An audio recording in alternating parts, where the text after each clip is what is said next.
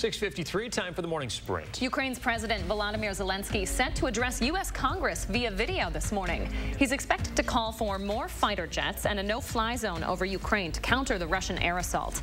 The Biden administration has said a no-fly zone could escalate conflicts with Russia. Next week, President Biden travels to Brussels to meet with NATO allies on the topic. Fox News journalist Pierre Zakrzewski killed while reporting in Ukraine. The network said the veteran war photojournalist was killed outside of Kiev when his vehicle was hit by incoming fire. Correspondent Benjamin Hall was with him. He remains hospitalized this morning. A Ukrainian official says that a Ukrainian journalist was also killed in the incident. State consumer officials are monitoring all poultry farms within a 10-mile radius of Jefferson County this morning where the bird flu has been found. Any chickens within that radius can't take part in shows, exhibitions, or swap meets through the end of May. This marks the first influenza case in a commercial poultry flock since 2015.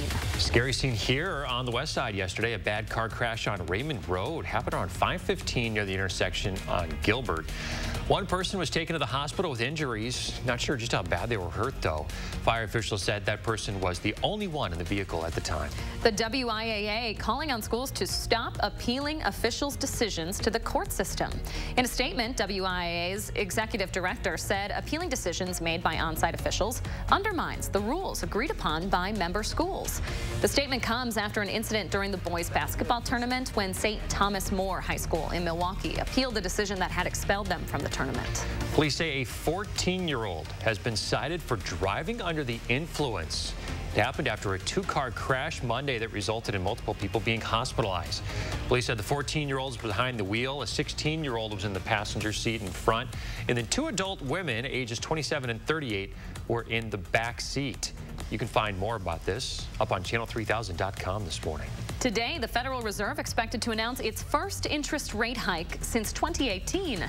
At the conclusion of its two-day policy meeting, Chairman Jerome Powell will likely forecast the central bank's plans for the rest of the year. That could include a half dozen more rate hikes. Those could lead to higher borrowing costs for credit cards, auto loans, and mortgages. So, March 16th is the day that we typically hit 60 for the first time, and we have the chance to do that today. We're starting things out with a beautiful sunrise. We're at the low 30s right now. 33 is where our temperature stands, but we should add about 32 degrees to that temperature into the afternoon. Sunshine, 57 by lunch. We'll top out at 65 this afternoon. Even dinner time, we're going to see a lot of those temperatures hanging out into the 60s. I want to encourage you to enjoy that Snow is on the way. Could be accumulating snow. We're going to track that throughout the rest of this week. Chris Reese, we appreciate you. Thank you. What a gorgeous sunrise, folks, on your Wednesday. Take that in. We'll be back in half an hour with another local news and weather update.